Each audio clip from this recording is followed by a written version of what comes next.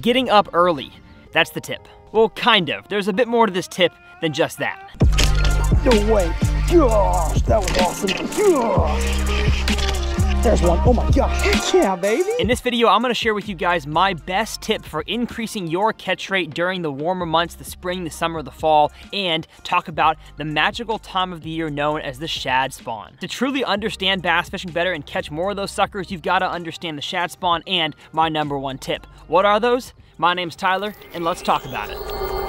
Another giant, another giant. Look at that, y'all. I can't believe what I just caught. Yes! I'm having so much stinking fun. It's crazy. Well, how's it going, folks, and welcome back to TRF. My goal here on this channel is to help you guys become better bass anglers and catch more fish, and so if that's what you want, hit that subscribe button. Now, I wanted to make this video as broad as possible to encompass as many different types of anglers as I can. So bass boat, kayak, john boat, bank, anybody that fishes, at least for bass, this video is for you. And so to help keep this broad, I'm going to segment this video into two different sections. The first being my number one tip, and the second being a master class on the shad spawn. I would highly recommend y'all watch both these sections, but if you want to skip from section to section, the timestamps are listed down below. So my number one tip for catching more bass in the winter months is really an easy tip. It's more of just kind of a mindset shift, and that is you gotta get up early. I know I've talked about this in the late summertime as well, but especially when it comes to the post spawn in the summer, you're gonna catch more fish than your buddies if you get out to the water earlier than they do, especially in the shad spawn, which we'll talk about. So once the bass finish up their spawning process and spring has fully arrived in your area, the post spawn is here, and those fish are most shallow, most active, and most aggressive in the early morning. I'm talking about the first 30 minutes after the sun rises, and I guess the 30 minutes of pre-sunrise before that. So making the effort to get up as early as you possibly can to get to the lake is not always easy. Before filming this video, I was sitting here, I was yawning because I am tired. I got up at 4.30 this morning to drive to the lake to hopefully get on an awesome shad spawn bite, which I did. And some of those hook sets y'all saw, absolutely incredible fishing. Stay tuned to the end, you're gonna see all those full catches. That's a big one. That's a big one. Now, for those of y'all who live up north, I'm talking anywhere north of uh, Iowa, Iowa, Minnesota, Michigan, New York, getting up early is not necessarily as important. I bet there's some lakes and ponds out there where the morning bite is better, but for you guys, you don't really have like a hot summer. And even like your post spawn, everybody's still wearing like bibs and a jacket. The air temperature has been in the high 90s here in Texas the past few weeks, and that has really accelerated those fish to start leaving the banks after 30 minutes uh, in the morning, head offshore to offshore rock, offshore brush. And so, if you want the best chance at catching fish, especially if you live in the hot states, Texas, Oklahoma, Louisiana, really anything in that southern belt, all the way up to, I'd say, Tennessee, you need to be getting out there early in the morning. I know it can be a struggle if you got kids or you got family to get out of the house early, but just set your alarm 30 minutes earlier than you think you need to. And I know this sounds like such a weird tip, like Tyler, no duh, I need to get out there. But I feel like reminding you guys once again, it is so dang crucial this time of the year to just get out there and be ready to go. Not rigging your rods as the sun is coming up, you are ready to make your first cast as sunrise starts. Doing this will not always result in you going from catching zero fish to 10 fish or having a horrible day to an amazing day. But the earlier you get out there in that post-spawn summertime, the better your chances are at just catching a few more fish, which can increase your morale as an angler and you never know when one of those could be a big one. Now that leads us to the second part of this video, the magical time of the year, and that is the shad spawn. Tyler, what the heck is the shad spawn? So every species has to do their thing, if you know what I mean. They gotta reproduce. Bass do it in pairs, one male, one female. I guess most mammals and, and bigger species of fish do it in pairs, but smaller fish, your bait fish, do not mate in pairs. They mate in groups. As a matter of fact, absolutely ginormous groups. They will just rub their bodies against each other, they will disperse the eggs and the fish juices, and man, you go to town. And and as you might be able to imagine, when the baitfish are doing that in a giant school, they're not really focused on protecting themselves. They are opening the door for any kind of predator fish to have an absolute buffet. I'm talking all three species of bass take advantage of the shad spawn. You've got stripers, you've got white bass, you've got sand bass. Literally any sort of shallow freshwater predatory fish is going to take advantage of a shad spawn. Now most of the time when I say shad, I mean bait fish. It's all shad to me. Living in Texas, I think that's something that I kind of grew up saying is that if it's a bait fish this big or a bait fish this big, they're all shad. But most of the time time, the shad that we're talking about is threadfin shad, the one you see in my hand right here. I showed up to the boat ramp this morning and the threadfin shad were spawning everywhere. If y'all look closely at this shot here, you will see baitfish being washed up on the rocks because they are so concentrated and so shallow. Oftentimes, shad will be spawning so hard, they basically like throw themselves up on the bank and a bunch of them end up dying. And so as you can tell, they're not very smart. So if you show up to your body of water and you see stuff like that at the boat ramp, you can bet your bottom dollar there are bass somewhere around. Now, when does this shad spawn happen? If the bass spawn happens in the springtime for you, so I'm gonna kind of list some time spans for the bass spawn. Texas, anywhere from late February to late April. Uh, middle of the country, the Ozarks, it's kind of like uh, early April to late May sort of thing. And then you guys that live up north, your spawn is anywhere from mid-May to late June. So once that time period is like halfway to three quarters done for you, so the bass are almost done spawning, that's when the shad spawn usually begins. I hesitate to give any kind of water temperature gauge because every lake is different. And oftentimes shad will spawn like crazy one day and then all of a sudden, for no apparent reason at all, they just shut off. The water temp might have changed by like one degree. The shad spawn is just a very finicky thing. So what you're really looking for is for the bass to almost finish spawning. That's when the bass will move off of their beds but still stay relatively shallow, at least in the morning, until it gets way too hot and they will feed on those bait fish very heavily. Now, when does this happen in the day? As I talked about in the first part of this video, a lot of action in the summer post spawn happens early, and the shad spawn happens really early. So early, in fact, it happens all night. I don't know the exact science behind it, but I can tell you guys one thing. Baitfish hardly ever spawn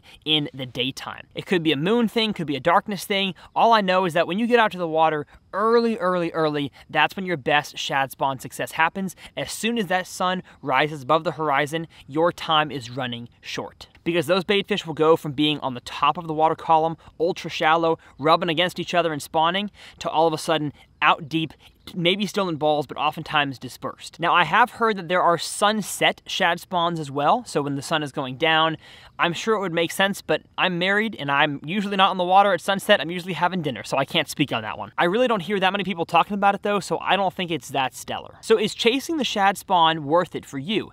Well, if you fish in ponds, usually not. Most ponds out there, besides like shallow farm ponds, do not have a large population of bait fish, let alone a large population of threadfin or gizzard shad, the two main shads people target for bass fishing. I have spent a ton of time on lakes in Minneapolis and St. Paul, Minnesota, and I have never found a bait fish. I found tons of bluegill, tons of perch, but those don't spawn in the same way that bait fish do. And so if you live in those areas, this is not for you. Still something to learn for later in case you travel and do encounter a shad spawn, but if you don't have bait fish in your pond, lake, or reservoir, the shad spawn is not even gonna happen. And something else worth considering if you're thinking about going after the shad spawn early in the morning is do you know your body of water that well? If you're trying to go to a new body of water, water, you're trying to launch the boat before the sun comes up and then find fish in half an hour, that can be very challenging because baitfish, as we'll talk about, spawn on all sorts of different things depending on the lake. It's not even constant from lake to lake. Sometimes two lakes will look similar to each other,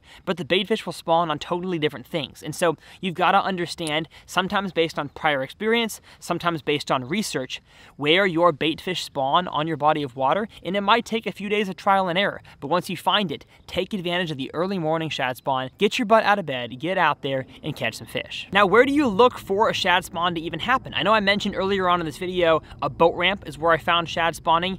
Really, it's anywhere that is a hard piece of cover. So it could be marinas or floating docks that have those dock floats as a great place to start looking. My next favorite is seawalls or riprap banks. So any kind of hard concrete wall or, or, or chunk rock bank, that's also a great place to look. And the last place that I could look is grass. Usually the thicker clumps of grass that are up shallow, so hydrilla, coontail, great places to find shad spawning.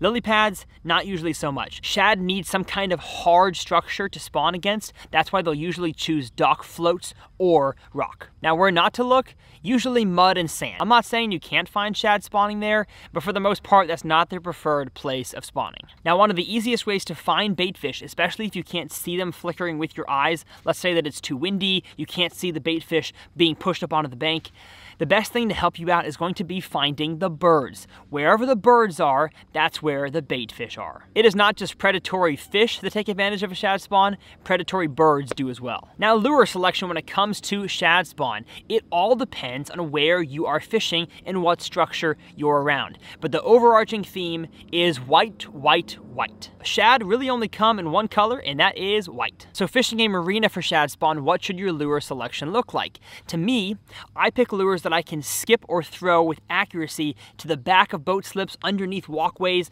That's where you're gonna find your most success. And so usually it's a, uh, a buzz bait, a swim bait, vibrating jig, maybe a spinner bait without a skirt, soft plastic jerk bait like a Strike King caffeine shad. I love throwing those types of things around marinas and docks. You can also throw topwater in very select situations, as you'll see later on in this video. If you're fishing around retaining walls, you can basically throw whatever the heck you want. Topwaters, crankbaits, soft plastics, a swim jig.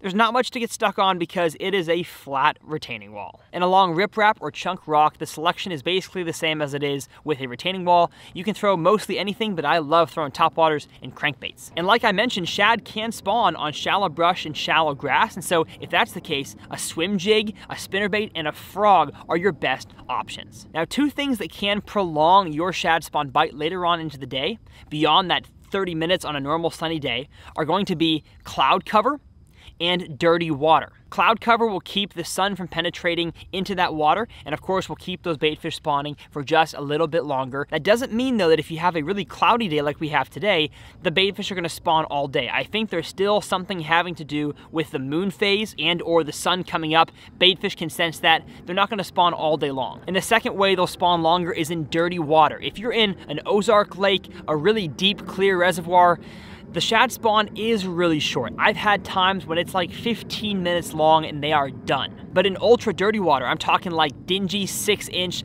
4 inch visibility, I've had shad spawn happen all the way to 10, 11 a.m. So again, this all comes back to understanding your body of water, where the shallow structure is, where the retaining walls are, and how healthy the bait fish population is in your body of water. Putting all those things together, you can have a very successful shad spawn. So how long does a shad spawn last for, like days wise?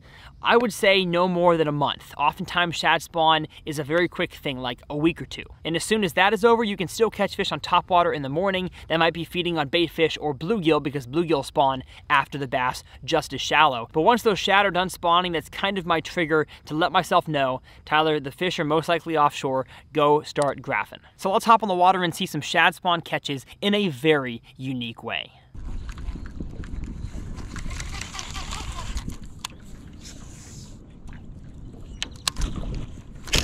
No way. Gosh, that was awesome. Pitched it in the tire. That was awesome. That was awesome. That was awesome. Bring it in here. Yes. Oh my gosh. He didn't even have the frog in his mouth. He swiped at it. Beautiful fish right there. Four pounder shad spawn. Gotta love it, baby. See you, girlfriend.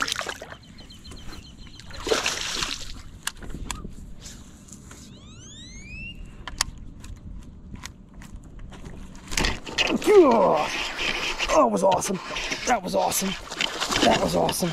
That was awesome. Yes, sir. Yes, sir. Oh my gosh, dang it. Ah, this camera back here wasn't recording. Boys and girls, I'm very upset at myself because this five pounder wasn't caught on this camera. Dang it. But they're in the tires, eating bait fish. Look at that. Look at how I ate the poppin' pad perch. It's gone. there we go. Beautiful. Five pounder. Shad spawn. Can't beat it. My girl.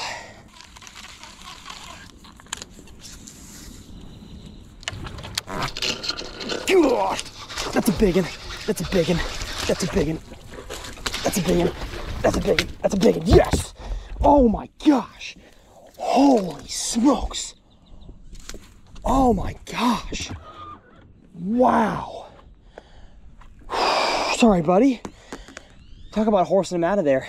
That right there is what you want to see.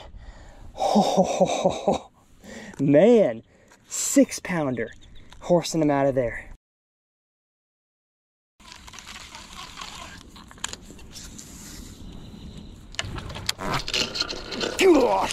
That's a big one. That's a big one. That's a big one. That's a big one. That's a big one. That's a big one. Yes! Oh my gosh!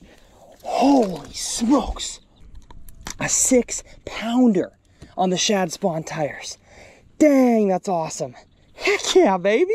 See you, Mrs. Six Pounder. I'm having so much stinking fun. It's crazy. So what I've done now is I worked the entire stretch here at the frog, got that four, five, and six, and so I switched to a little white rage craw. And I think that any fish that might not have had the courage to come up and eat topwater might just take a nibble at this rage craw if flipped in the right tire. So that's what we're hoping. I have no idea if this will work. It could just be the shad spawn is over, even though we have cloud cover, which of course extended it beyond its normal time period. It is about an hour later than when the shad spawn usually stops. So it wouldn't surprise me if the fish just kind of shut off out of instinct. But they couldn't have gone far. Like, where are they gonna go?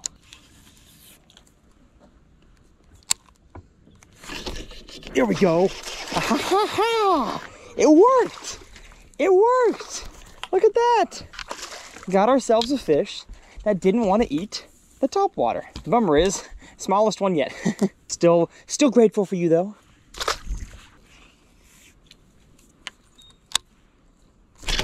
There's one. There's one. Oh my gosh. Holy cow. Wow. That's like a uh, stinging catapult. that was awesome. That was so cool. Andy stayed pegged. That right there is the Strike King flipping hook. Greg Hackney style. Beautiful.